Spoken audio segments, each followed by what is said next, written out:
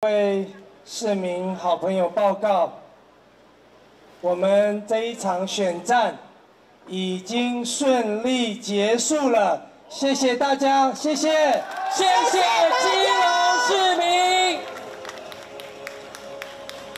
今天的结果不是属于国良一个人的，是属于全体基隆市民。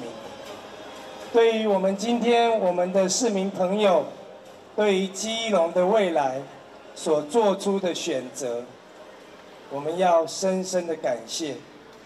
我们对于基隆民众，我们一定会用生命来守护大家。容许我用深深的一鞠躬，谢谢大家，谢谢。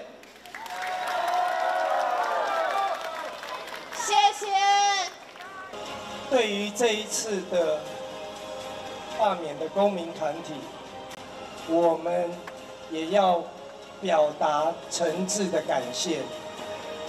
其实这一次的选举，他们并没有输，基隆的公民、基隆的市民更没有输，因为我们用民主投票的方式，来完成了七十几年来从来都能未能完成的罢免投票。我也在这边跟大家来承诺，我们一定会用谦卑的态度，在未来持续的跟我们公民团体表达密切的联系，在每年的第四季，一定要邀请他们来到市政府做深入的座谈，共同商讨。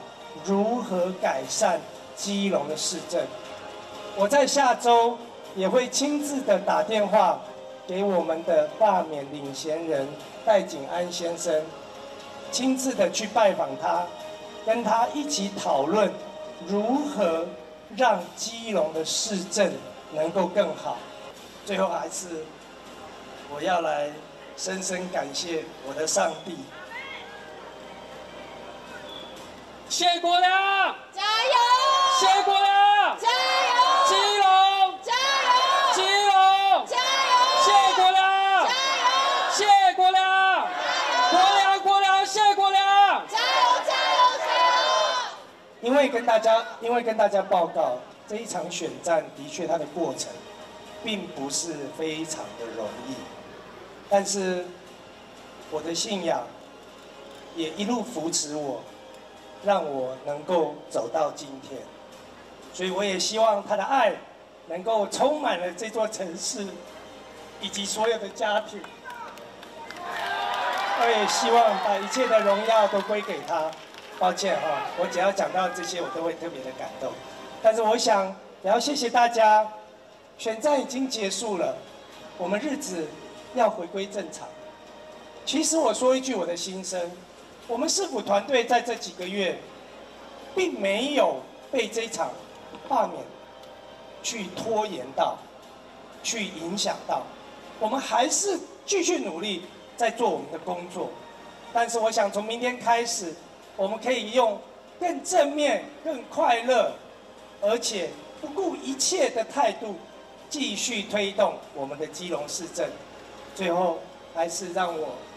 深深的一鞠躬，谢谢在座的各位，谢谢你们，谢谢基隆，谢谢基隆，谢谢。